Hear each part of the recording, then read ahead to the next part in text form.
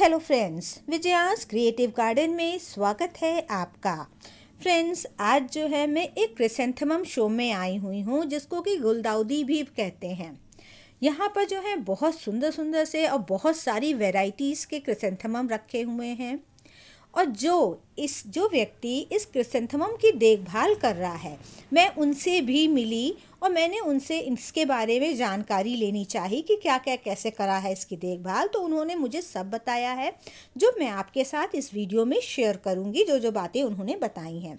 मैंने जो है उनकी, इस समय यहाँ, वहाँ की आवाज़ जो है म्यूट कर दी है मतलब हटा दी है, क्योंकि वहाँ फिल्मी म्यूज़िक चल रहा था और अगर आपको सुनाई देता तो मेरे उस वीडियो में कॉपीराइट का स्ट्राइक आ जाता तो मैंने उस आवाज़ को बंद कर दिया है। और वो इंसान है ये।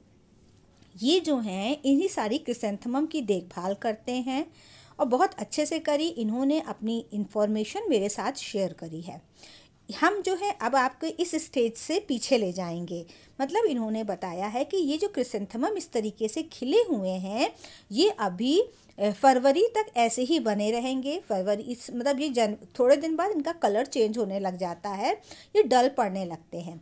लेकिन जब फरवरी आती है तो ये ऊपर का पूरा फोलिएज इसका कट कर देंगे। अच्छा एक चीज़ और इन्होंने बताई कि ये जो क्या करते हैं, हर कलर का, हर वैरायटी का एक एक गमला रखते हैं। यहाँ तो एक कलर के भी कई सारे फूल दिख रहे हैं तो ये सब नहीं रखते हैं, एक एक गमला सबका रखते हैं।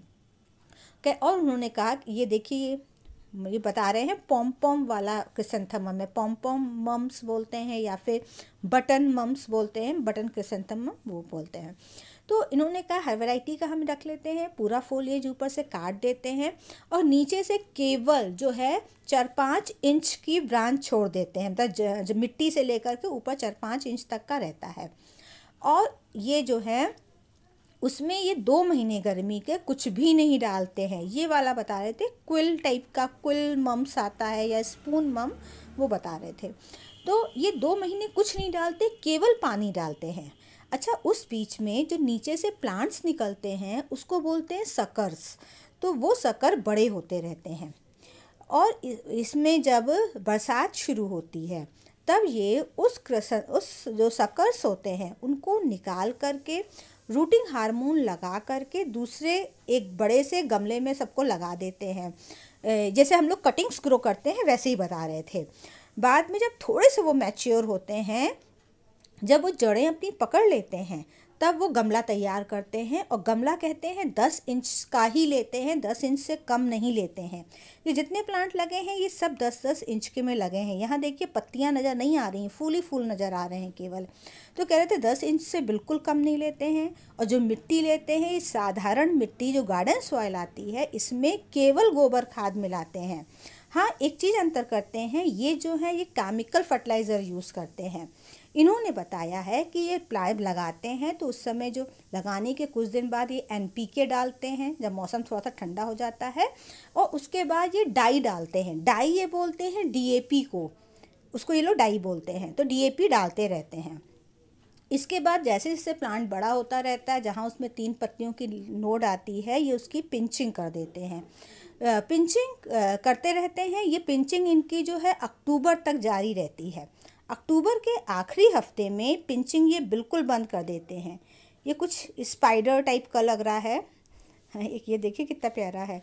तो वो कह रहे थे ये जो बड़े वाले जो होते हैं इसमें ये कह रहे थे कि एक स्टैम्प में एक फूल निकलता है केवल। इसको गर्मियों में बचाना बता रहे थे, बहुत मुश्किल हो जाता है।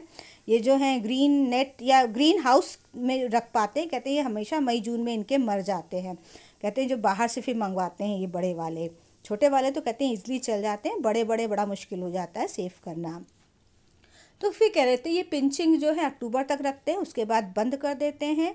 तब तक जो है फिर नवंबर में इसमें कलियाँ वगैरह शुरू हो जाती हैं और फूल भी आना शुरू हो जाते हैं।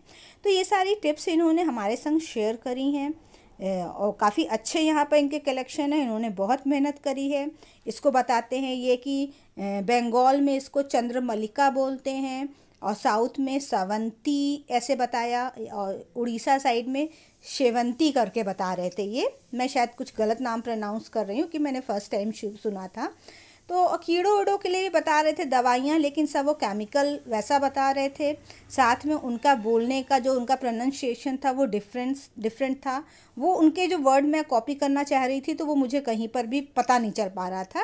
एक्चुअली वो थोड़ा सा अपनी हिंदी और गाँव वाली टोन में बोल रहे थे तो मैं क्लियर समझ नहीं पा रही थी। तो फ्रेंड्स उम्मीद है आपको इन्फॉर्मेशन ये पसंद आई होगी। पसंद आई हो तो लाइक कर दीजिएगा।